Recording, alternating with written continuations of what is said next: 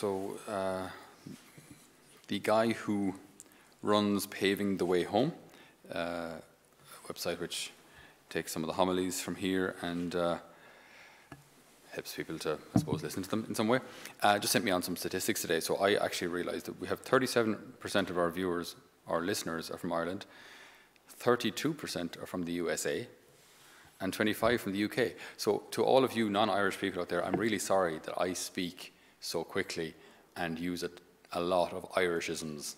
Um, so I don't really speak international English while I'm here. I just, I speak country Irish. So very sorry if uh, um, I can't always be understood and use walk, use words like footpath instead of sidewalk. But I think you get the general principle. Anyway, okay, so it's great to have you, uh, it's great to, to, to be able to witness to what the Lord is doing and what the Lord does every year and how the, the depth of Scripture can be, can be uncovered, and no matter how often we do this, we, we should be doing this every year, no matter how often we hear these readings and dig deeper and deeper, it should reveal ever greater available depths. You know, we should never get to the point where we go, oh, yeah, sure, I, I've heard that story before, so I know how it ends. It's not about knowing how the story ends. It's about knowing how that story applies to you and what you're being called to. And maybe, in a way, what your part is in this story. See, we're not spectators. In this whole passion, that's why it's, we all have that horrible line uh, in, when we read the, the accounts of the passion where we have to stand there and say, crucify me. I'm not sure about you, but I always felt bad reading that line, especially when you read it with a bit of gusto. Um, we had one of our community members here who, when we were filming the Stations of the Cross, with particular gusto, would, well, mime or roar, crucify. And she's a very gentle girl. Uh, but like, the venom came out. And it was just, it was great. I mean, it, was, it makes for very good Stations to Cross because it looks so vicious. Um, but we, we all feel bad when we have to say those lines, crucify crucify. And yet it, it makes sense. Why? Because we're, we're part of the story. We're not spectators in the passion. We're part of it. Our sin has caused this, and we are the beneficiaries of, of everything that's going to happen over the next couple of days. God's grace made available to us in Christ. So, one thing which uh, I was I was asking, I was praying there a couple of days ago, and I was um, I mean I pray every day, but there was just a couple of days ago uh, when I was thinking about a particular thing. As I was thinking, Lord, what, what would I like? What would I what would I like to kind of pray for? What kind of gift would I like? And there were a couple of things that came to mind, but one of them was I said, Lord, I'd love to have a better memory. Right? I'd love to have a better memory. I'd love to be able to remember details about people so that when they would come to me, I'd know their name and what their kids' names were, are, and uh, maybe even you know when they got married and all that kind of thing, so that they'd feel special. I mean, some, if, if, when people come and say hello, Father, and I'm oh hello, Mary, how are you getting on? How are the children, John and Patricia, and so on? Oh, bless us. And it just makes them feel like you know you care, and I do care. It's just I don't remember stuff. I don't remember things like, like as I'd like to, you know. So I thought I'd love I'd love that gift. And uh, I came across an article of a lady, she's an American named Jill Price. And uh, she has what looked on the surface like an almost photographic memory of everything, right? So she has, she can remember in great detail practically every aspect of her life. I think from the age of 11 up, it's from the age of 8 up, the age of 8 up. She can remember practically everything like it happened yesterday. So the, the, the part journalist, part scientist, well, more of a scientist who wrote this paper, uh, went to interview her. So he said, look, I'll, we'll start with a few easy ones. So uh, Easter 1982. So you were nine years of age. What was it like? And she goes on in great detail to, to say what day of the week it was. As in, so, you know, uh, he gave her a certain date and she was able to say the date, what day of the week it was, what happened then, who came to visit, what the weather was like, what happened the day before, and then there was a big political disaster or whatever it was the following day, and she just just tons of information. He just he just gave her a date. Then he asked, you know, another day, a random date. Uh, another, a couple of years later, and again, the same kind of thing. You know, one memory starts to trigger another, trigger another, trigger another, and just all in, in great detail. She was on the um, a TV show called 2020, where she was asked all sorts of questions about uh, American history and things. And then it came to a kind of general knowledge question of when did Princess Grace die? Now, I don't remember the date. Uh, that's her gift, not mine. So correct me if I'm wrong. But um, she says something like it was. She says September 14th, 82, and they said, no, no, it was it was September 10th, 82. And she said, no, it wasn't. That was that was the day. And said, well, that's sorry. That's this is a quiz. Like it's a live TV show. You know what I mean? And she said, no, it wasn't. And, and then she's, she, she, I, I can't be, I can't be wrong. Like you know. And then she, she went on to tell what happened the days before and the days after. And no, absolutely convinced it was the date that she said. I said, well, sorry, we, we, we, can't, we can't, we can't give you the points. Like it's, it's, uh, it's not the answer we have. So they moved on anyway. And then you see an embarrassed producer come in two minutes later. We checked it. She's right. the book was wrong. The book that they got the, the date from was wrong.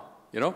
So just, she has an absolutely phenomenal memory. And I was like, yeah, that's, that might be what I'd like. I'm not really sure. I don't, I, maybe that's what I'd like. But then the, the, the journalist goes on to, to talk to her about about her, her, her life and her past and her, and her, her childhood. And to also trying to understand how the human, how human memory works, because we don't really know how it works. We can remember certain things, you can't remember other things. Other things, it's really hard to shove them into your brain. Other things you remember immediately, especially the stuff we're not supposed to remember. You know, like someone tells you a dirty joke, you'll never forget that, right? But then you're trying to put your five times tables in your head or learn a bit about the prophet Ezekiel, and they just, you know, learn off Bible verses, and they just won't stay. Anyway, long story. Uh, so we can remember some things, we can't remember other things, but you can also confuse a person. Uh, we can suggest memories, you know, with a leading question, you can kind of get people to say things they don't even believe, you know. It's incredible. So the mind is complicated. So he, he started digging a little into, into this lady's life and came to, to, to recognize that there were actually large holes in, in her memory of, of certain things.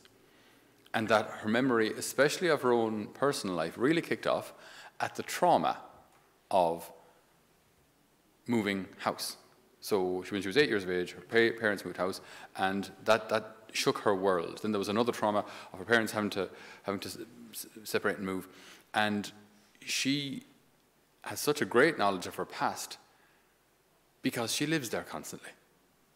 So she watches TV most of the day and just replays her past over and over and over again. She has a bedroom full of all of her childhood toys. She writes a diary every day of everything that she's done. She has TV guides dating back to 1980, whatever it was. And uh, she lives physically here and mentally in the past. And all of her hurts, pains, traumas, separations, all those kind of things are right there, like they just happened. They're all present. So even though she has this phenomenal gift in a way, it's really not doing her any good. It's not actually helping her. It's, you know, you'd imagine with that kind of thing, sure, you could, you could be an incredible scientist or invent a cure for cancer because you just keep all this information in your head and piece it all together. And, and no, she's, she's paralyzed, actually. She's just stuck, stuck in her, in her world. So it just got me thinking how you kind of have to be careful what you wish for. You know, it's like the Midas touch. You know, I want everything I touch to turn to gold. Sounds amazing. and then, you know, you see a big juicy apple, clunk, turns to gold. You see your little child, clunk, she turns to gold. You know, eh, yeah. Be careful what you wish for. So when we, when we talk about following God. I think most people say, yeah, yeah, I think it's, it's good to believe in God, believe there's something there, to believe there's a kind of a, a spiritual reality. Absolutely, it's a good thing, sure. Following God has consequences. It, it, has, it has real implications for, for our lives. By the way, they're, they're all good, ultimately, but they're not all necessarily easy. So following, following the Lord, like, it has very, very serious consequences. So this, this reading from Ezekiel, right? So uh, this is during the, the deportation. Okay, so they're, they're not in the Holy Land. So Ezekiel and, and the Jews uh, were taken in, into Babylon. So he's prophesying there. So not in his home country, where the temple has been destroyed, uh, the Ark of the Covenant has been lost. Um, they're in a, in a, foreign country now, surrounded by foreigners. They're, they're, they're enslaved. They're like not a good situation. So the Lord says, I'm going to take these sons of Israel from the nations where they have gone. I will gather them together from everywhere, and I will bring them home to their own soil. I shall make them into one nation in my own land and on the mountains of Israel. And one king is to be king of them all. There'll no longer be two nations. We won't go into how the two nations happened, but yeah, okay, so there were southern kingdom of Judah, northern kingdom of Israel. There'll be one nation.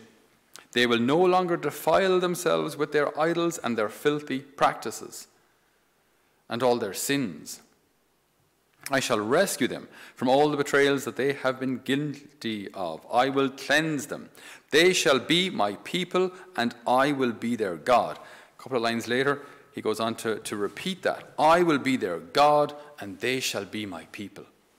But this happens like after, after a purification. After like the people have decided, God, we, we want you more than anything. We don't want these, these filthy practices and all these things that we've been doing. So the Lord is still at work and will still realize this promise in us today. So, I mean, I'm not, the world is in absolute chaos at the, in, at the moment, it's going to, and it's going to get far worse. It, it, really, it really will, because, but not because, not, because, not because I say so, but because only when, when the cross causes us to drop to our knees will we recognize who God is. So it'll be an act of mercy for God to actually lead us back to Him through the cross. Because unfortunately, there's no other way. Would we listen to prophets? Do you know, if in Medjugorje or elsewhere there was some, to be some visionary who would say, if it were, if a Vatican statement were to come out and say, sure, we, we already have those kind of things. We already have like teachings of the church which say abortion is unacceptable. We did it anyway. Genetic modification, all those kind of things, so they are unacceptable. We do it anyway. IVF, we do it anyway. Contraception, we do it anyway. So we, we already have these teachings. We don't listen to them. Okay, so we're to see the consequences of that now in society as family falls apart and as uh, fatherhood is destroyed and as uh, superficial relationships become, become the norm. So promising us happiness, but delivering emptiness and use and loneliness. So, like, there's, such misery out there. So the Lord, in His mercy, will say, okay, if if I need to allow a situation which brings you to your knees, this is still an act of mercy. So it will, but it will begin to purify us because it'll. Uh, who was it? I was talking to yeah, talking to a guy recently who was. Um, uh, I was just buying a bit of steel for a bit of a, a trailer job that I have to do today, and uh, and he was talking about his his brother who who died of alcoholism at 43, so just two years older than me. And he said, you know, we used to work night and day here in the, in the forge, making gates and shoeing horses and the whole lot, just night and day, day and night, six days a week, like just non-stop going. He said, after my brother died, I just stopped and said, what?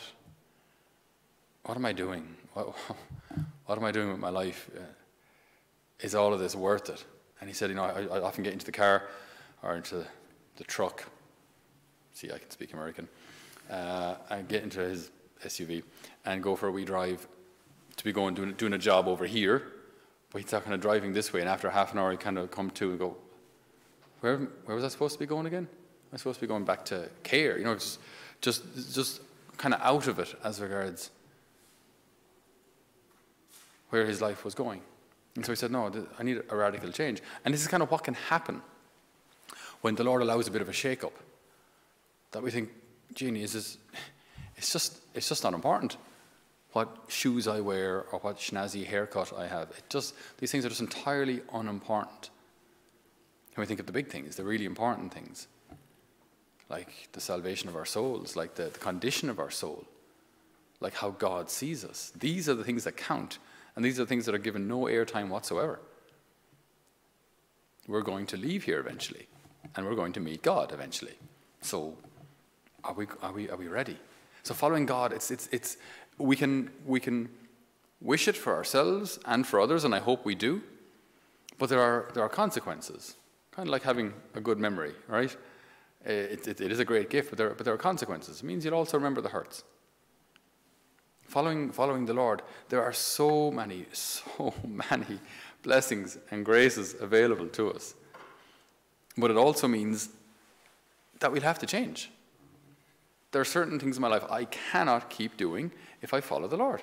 I just can't. I mean, it's, you see it in the States, we see it here as well.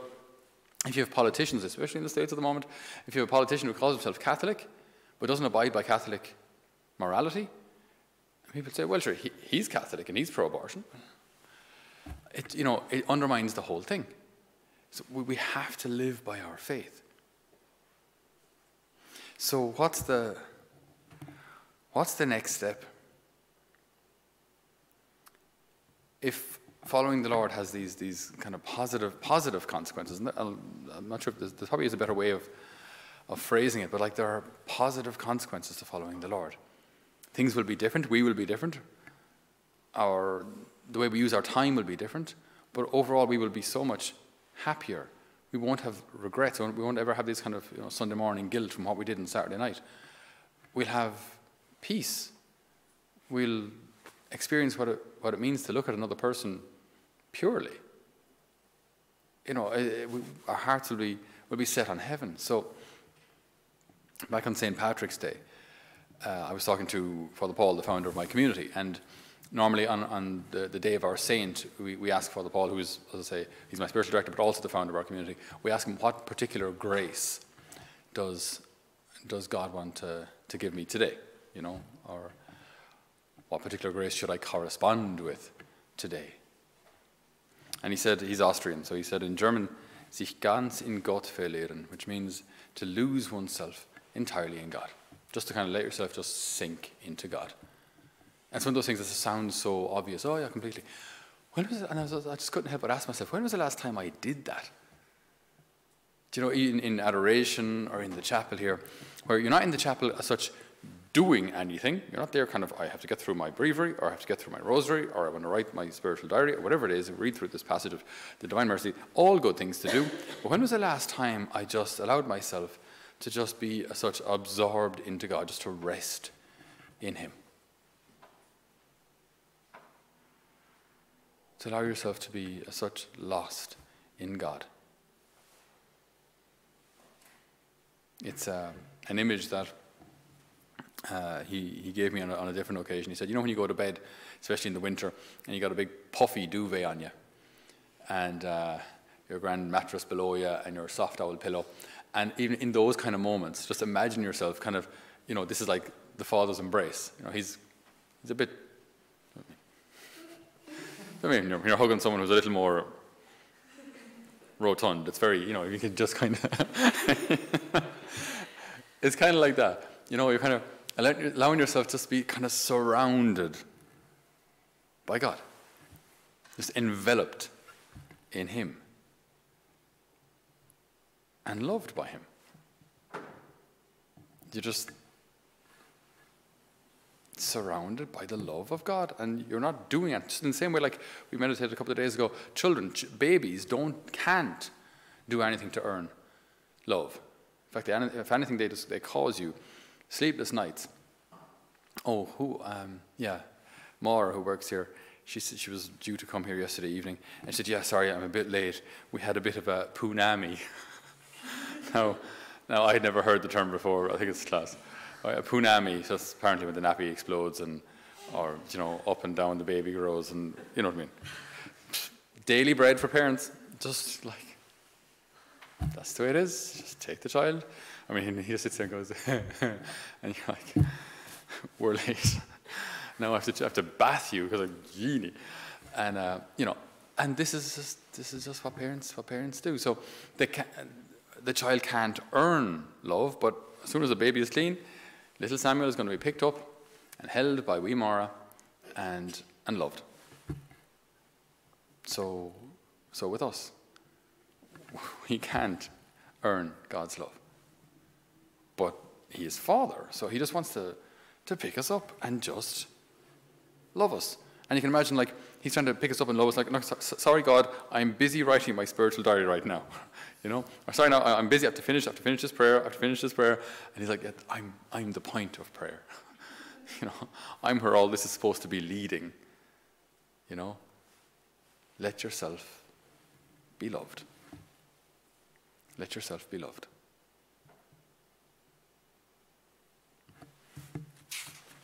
So our gospel finishes with this cliffhanger.